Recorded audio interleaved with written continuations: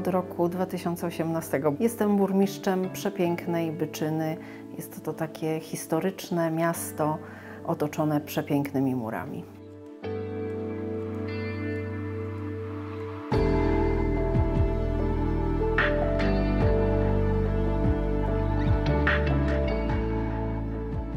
Przez całe życie byłam nauczycielem matematyki i to bardzo lubiłam swoją pracę. Bardzo lubię kontakt z młodzieżą, z rodzicami i ta praca zawsze sprawiała mi wiele satysfakcji. Co tam, jak tam na wakacjach?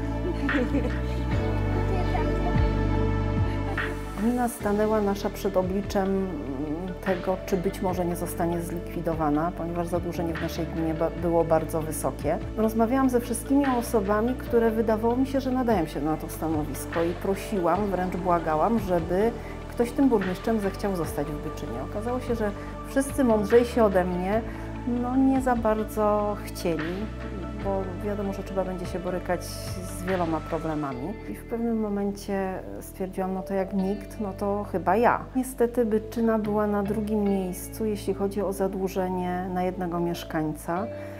I ta sytuacja finansowa naszej gminy była i w dalszym ciągu jest bardzo trudna, ponieważ nasze długi będziemy spłacać do 34 roku. Obecnie jest to około 60 milionów złotych. W tym momencie, kiedy przejmowałam gminę, no to było tam prawie 90.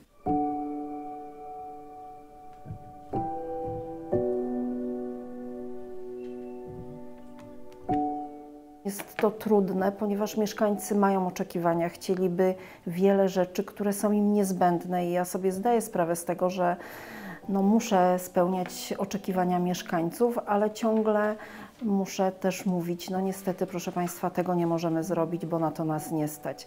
Co prawda i tak na terenie gminy zrobiliśmy bardzo dużo inwestycji. To są przede wszystkim inwestycje drogowe i inwestycje kanalizacyjne.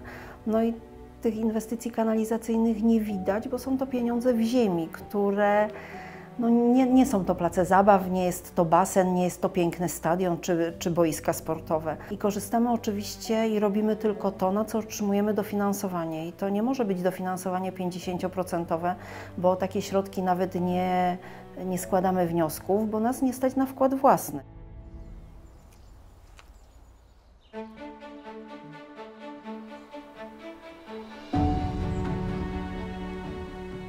Byczyna jest bardzo bogata w zabytki.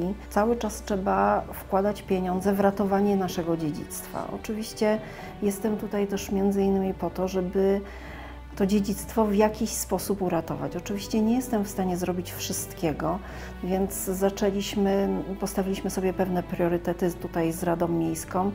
No i stwierdziliśmy, że będziemy zaczynać od ratowania murów, które no, zaczęły się sypać były już takie ściany, gdzie odspojenie tej cegły zewnętrznej od całej korony murów było tak duże, że część tego odspoiła się i została zawalona. Zrobiliśmy dach na wieży zachodniej, zrobiliśmy część murów na odcinku A i teraz zaczynamy taką bardzo dużą inwestycję na odcinku B. To jest od wieży wschodniej poprzez wieżę piaskową do Spichlerza. Oczywiście jest jeszcze cały odcinek C, który jest w fatalnym stanie.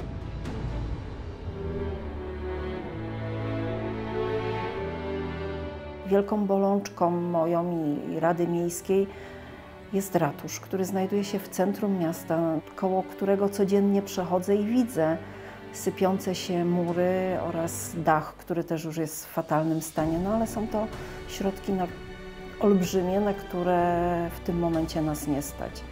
Oczywiście infrastruktura sportowa wymaga również remontu. Parki też chciałabym, żeby odzyskały swoją świetność i, i swój blask. Miejsca, gdzie mogłaby się spotkać młodzież, też tutaj takich miejsc nam brakuje. Nasz stadion miejski jest też w takim opłakanym stanie. Mówię tutaj o amfiteatrze, o trybunach, ale tym roku robimy trybuny i mam nadzieję, że również uzyskamy dofinansowanie, żeby można było wyremontować stadion.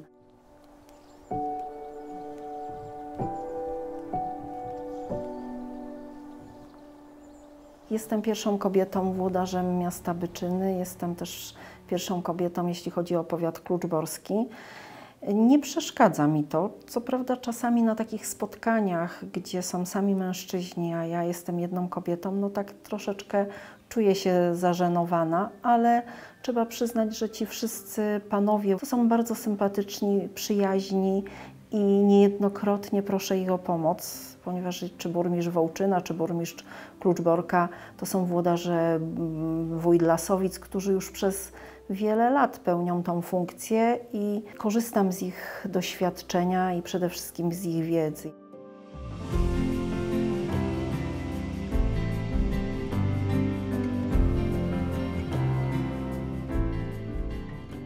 Kobiety, które działają w opolskich samorządach, to to są naprawdę silne babki.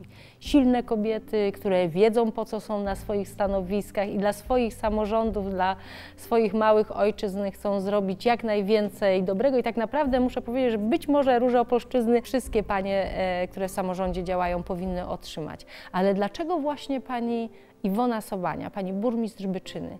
Dlatego, że to właśnie Byczyna jest e, tym miasteczkiem, tą gminą, która w 2018 roku była w rankingu najbiedniejszych e, gmin i oto znajduje się kobieta, która mówi spróbuję. I dzisiaj po tych paru latach możemy powiedzieć tak, pani burmistrz Sobani się udało. Z absolutną determinacją, z absolutnym zaangażowaniem, z wielką świadomością walczy o obyczyny. Ale robi to jeszcze w sposób niezwykle ujmujący. Tam nie ma nerwowości, tam nie ma złości w tych działaniach. To wszystko jest z taką wielką serdecznością, powiedziałabym wręcz z uśmiechem, bo robi się coś dla swojej gminy. Dzisiaj, co prawda, dalej jest wysoko w rankingu Byczyna, ale przecież przy takich wielkich problemach ten progres to jest wielkie osiągnięcie. I to jest osiągnięcie właśnie pani burmistrz, która miała odwagę i która nie odeszła w połowie.